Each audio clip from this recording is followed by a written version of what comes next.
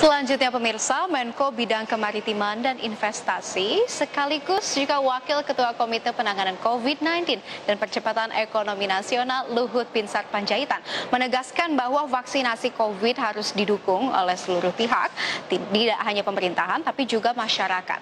Dan jika semuanya berjalan dengan baik, maka 3 sampai 4 bulan ke depan pasca vaksinasi nasional pertama hari ini, dampak keperbaikan ekonomi juga kesehatan mulai terlihat.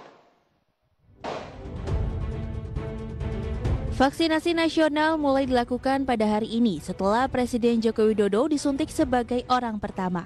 Langkah ini sekaligus menandakan pemulihan sektor kesehatan secara nasional mulai dilakukan dengan program vaksinasi. Menko Bidang Kemaritiman dan Investasi Luhut Binsar Panjaitan menegaskan bahwa program vaksinasi nasional merupakan harapan yang akan berdampak positif baik pada sektor kesehatan masyarakat maupun perekonomian. Kalau ini kita kerjakan dengan sungguh-sungguh di semua tempat, saya kira kita akan bisa mengkontain atau melokalisasi uh, eh, COVID-19 ini sambil kita akan mulai nanti hari Rabu vaksinasi nasional dan itu saya kira setelah, setelah tiga bulan akan kelihatan dampak yang cukup baik.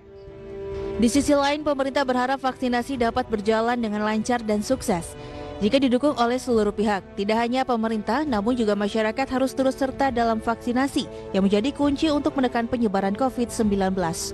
Pemerintah menargetkan jika vaksinasi berjalan lancar dalam 3 sampai dengan 4 bulan ke depan, perbaikan sektor kesehatan maupun perekonomian akan mulai terasa sehingga penanganan COVID-19 akan berjalan secara baik ke depannya.